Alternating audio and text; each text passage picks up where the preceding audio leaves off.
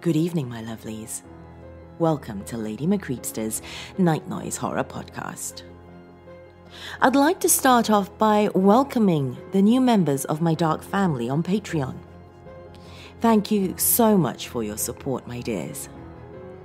As you know, us horror narrators have been struggling a little bit lately, so every little bit really does help. If you too would like to become a member of my dark family, head on over to patreon.com slash ladymcreepsta. As a member, you could also be eligible for discounts on my Dungeon Essentials, what you mortals call merchandise.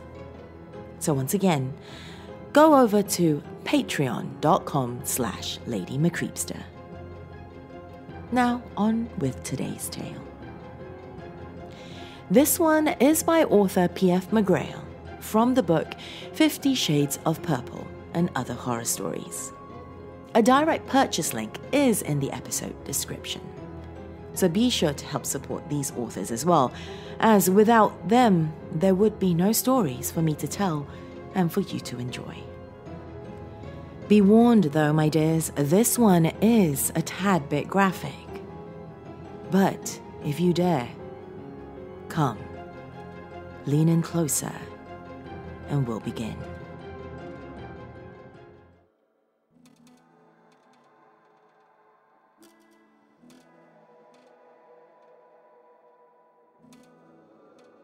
My last day as a repo man was February 3rd, 1982. Now, I had seen some shit in my day. My line of work didn't exactly reveal the nicer aspects of human nature. I'd been in plenty of fights, seen more guns waved around than I can possibly remember, and nearly lost my left thumb when a Doberman bit through the tendon as the deadbeat owner stood by and laughed. I was able to push it all aside until my last day.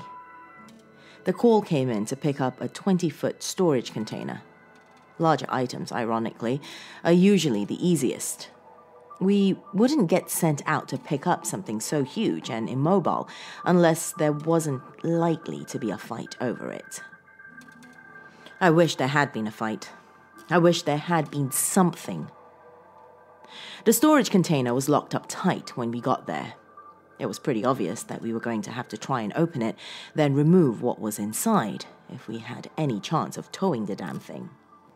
Three of us, me, Mitch, and Jim, was standing on the top of the container trying to figure out how to get inside. There was a hatch on the top, maybe five feet by five feet, that was padlocked shut in four different places. We got past those easily, but the door was fucking heavy. We decided that Mitch and Jim would flank the sides and pull up, and I would kneel in front of the opening to try and pry it open. It took some straining, but it started to budge. We pulled it open about a foot, and I dropped it back down into place. The smell. Fuck me sideways, the smell. After dropping it down, I pitched forward and nearly vomited, ducking and rolling into the fetal position. I can't possibly describe the odor itself, but the wave of scent was so overpowering that I could feel it ripple across my face. It was so powerful that my other senses had to kick in and absorb it just so that my brain could process it all. I tasted the vomit in my mouth, but forced it back down my throat. No way I was letting the other two see me rich. The job held a certain machoism that was hard won and easily lost. Mitch and Jim didn't seem to care. They were puking over the edge of the container, I realized how strong it must have been to make them upchuck. They were several feet away. That thought, combined with the sounds of their retching, proved too much. That's right, I had eggs this morning. A very distant thought wavered in the back of my feverish mind. Hard boiled eggs, five of them. Ten exhausting minutes later, we were standing idly on the storage container, wondering what to do. We don't have a choice, guys, I explained. The job is nearly two grand in the end. We come back empty handed, we might as well not come back at all. Mitch was staring down at his splattered shoes, forlorn as fuck. Jim was just staring vacantly at the horizon, like he was the last man on earth. I suddenly realized what I had just done by being the voice of reason. shit. I'll. I choked down a little excess vomit. I'll be the first to check it out. It sounded noble in my head, but had trailed off to little more than a whisper when I was finished. And that's how we were back in the original position five minutes later, everyone holding their breath, t shirts now tied tightly around everyone's faces. In retrospect, I wish I had kept my t shirt on. I told myself that I would be ready this time, that I was prepared for the smell, and that I could do this. I was wrong. We lifted up the hatch again, and the odor reared its head like a fucking demon.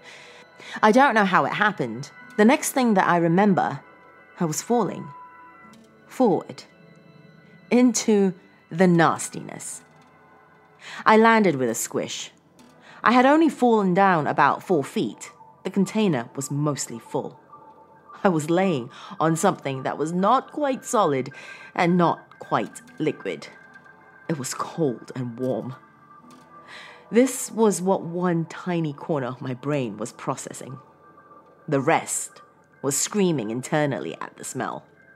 I tried to stand, but as soon as I gained my footing, the substance seemed to shift. I pitched forward and felt my face get splattered in goop. It got in my ears. Wiping my face was impossible.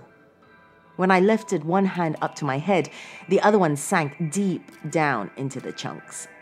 I tried to move away. I tried to stay still, but no matter what I did, the sludge continued to find a way to sink deeper and deeper down my back, into my socks, soaking my underwear with unholy gravy. I flailed. Mitch and Jim's disgusted faces appeared above me, yelling things incomprehensible. I could not stand rigid enough to reach up to them. Every time I tried to stabilize my footing, the ground shifted again, pitching me either forward, on my face, or flat on my back.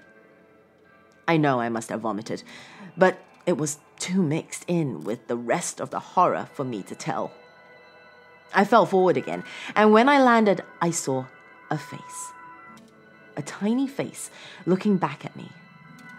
Just a face, no body, then I realized that there were many tiny faces and tiny hands, feet, and torsos strewn about.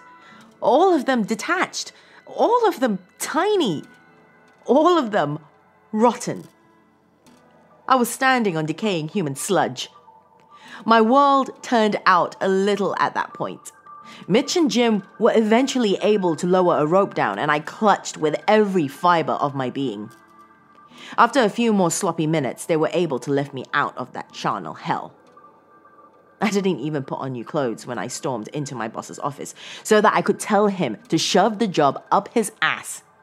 I ran in wearing nothing but human jelly and never came back. Turns out that the owner of the storage container had owned a medical lab that studied human tissue. He had been using aborted fetuses in his research, but lacked the funds for proper disposal. Enter the storage container. He lacked the funds to pay for the container as well. For a smart guy, I guess he didn't think things through very well. I went home that day and showered three times. When I finally felt clean, I went to sleep and did not wake up for 12 hours. I was beginning to feel a little better at that point. I thought that maybe I could put this behind me. Maybe I would eventually be able to eat meat again at some point in my life. I stood, stretched, and tousled my hair. I even smiled. Something fell from my scalp and made a tiny pitter patter when it hit the floor. Without thinking, I bent over and picked it up. Sitting in my palm, no bigger than a dime, was a tiny human hand. I've been a vegetarian ever since.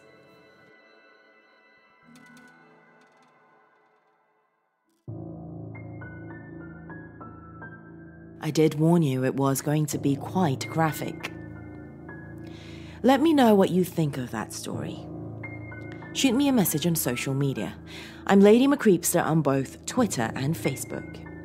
If you're watching this on YouTube, do leave me a comment below. That's all I have for you this evening, my dears. Till next time, sweet dreams.